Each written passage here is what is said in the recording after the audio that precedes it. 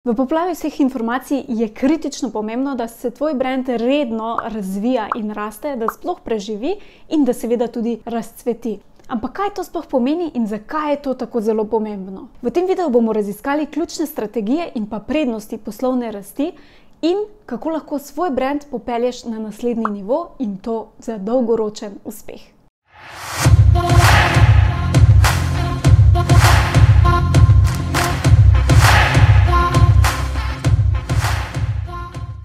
Najprej naj pojasnim, kaj sploh mislim z rastjo brenda. Rast ima lahko različne oblike. To je lahko povečanje števila kupcev, lahko je povečanje baze potencijalnih kupcev, lahko je širitev na kakšen drugi trg, lahko je pa enostavno povečanje tvojih dobičkov oziroma prihodkov. Ampak v bistvu gre za to, da svoj brand popelješ na naslednji nivo in dosežeš nove zastavljene cilje, uspehe in zmage. In morda se zdaj kdo sprašuje, zakaj je rast oziroma razvoj sploh pomemben za male podjetnike. In odgovor je preprost. Brez rasti in razvoja tvojega brenda bo počasi začel ta se ustavljati, stagnirati ali celo zamirati. Rast in razvoj brenda pa ti omogoča, da ostaneš konkurenčen oziroma konkurenčna v svoji branži in da poskrbiš, pritegneš v svojo bližino več svojih idealnih strank in tako tudi povečaš svoje dobičke oziroma prihodke. Eden od načinov rasti tvojega brenda je, da povečaš bazo svojih strank.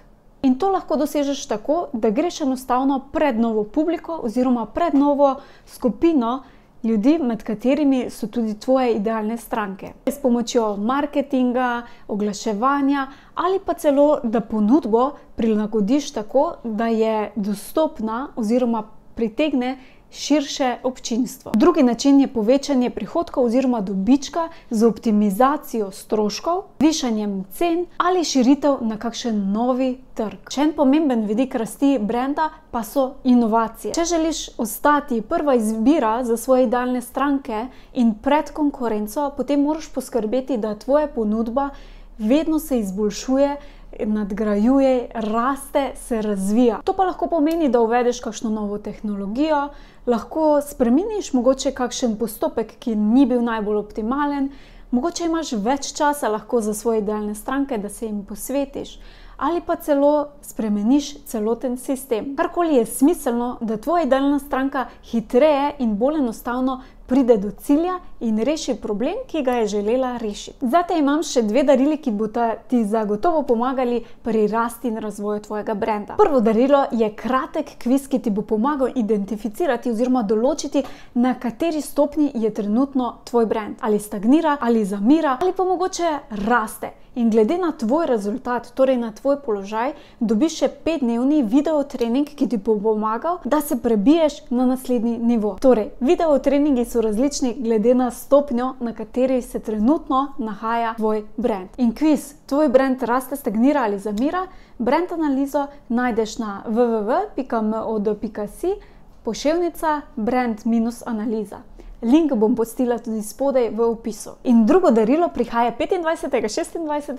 in 27. januarja. Namreč najpogostejši razlog, ki ga dobim, zakaj podjetniki ne poskrbijo za rast in razvoj svojega brenda, je ta, da nimajo časa. In zato, da več to ne bo izgovor, nimam časa za razvoj svojega brenda, sem pripravila en taki tridnevni mini brezplačen trening, ki bo na voljo znotraj Facebook skupine ali na mojem YouTube kanalu. Prijaviš se lahko na www.mod.si, pošiljka FB skupina za Facebook skupino ali na YouTube www.mod.si. Pošiljka YouTube. Linke bom pa postila, seveda, tudi v opisu. Torej, rast je pomembna za vsak, čisto vsak brand, zato da ostane konkurenčen in dosega nove uspehe. S stalno rastjo baze strank, povišanja dobi, prihodkov oziroma profita in pa razvojem svojih storitev oziroma produktov lahko svoj brand popelješ zmeraj na nov nivo. In ne pozabi, da rast ni le doseganje kratkoročnih ciljev, ampak grajenje dolgoročnega, močnega, legendarnega brenda. Če ti je bil ta video koristen in všeč, potem te vabim, da se naročiš na moj YouTube kanal in pa video deliš z tistimi, ki misliš, da bi jim ta osebina lahko koristila. S tem pomagaš seveda tudi meni, da dosežem čim večjo število podjetnikov in podjetnic in zato ti hvala.